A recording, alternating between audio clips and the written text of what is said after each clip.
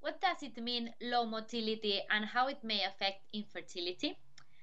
As we all know, sperm parameters are important predictors of the quality of the semen. The basic parameters analyzed in a, uh, seminogram are concentration, morphology, and motility, and they are very important testing male infertility factors. Today, I will talk about sperm motility, uh, known as the movement of the sperm. We can classify the mot motility of sperm in four different categories. Fast progressively motile, slow progressively motile, non-progressively motile, and immotile. According to the World Health Organization, it's very important to analyze the difference between these movements because it has a, a clinical importance.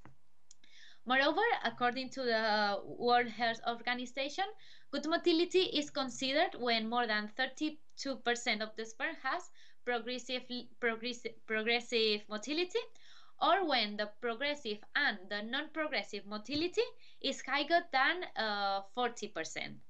Therefore, samples that are under these reference values are considered to have a low motility and the medical term used for diminished Sperm motility is asthenospermia.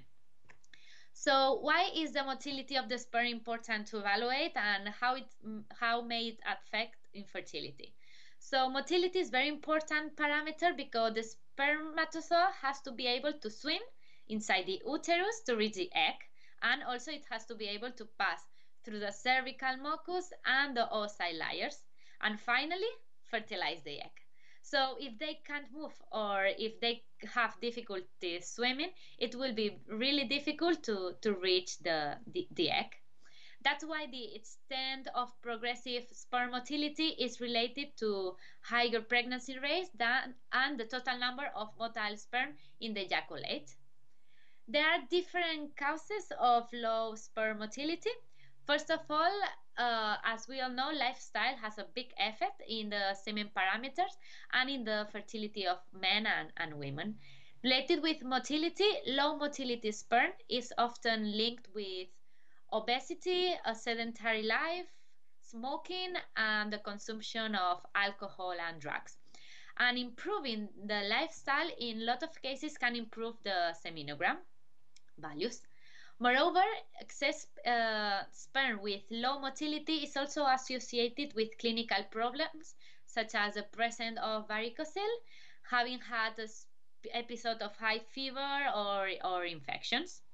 In addition, alteration during sperm transit through the epididymis, that is where the sperm acquire the motility, the motile ability, can cause alteration in sperm mitochondrial functioning and affect the sperm motility. It's also important to highlight the possible genetic cause of the low motility.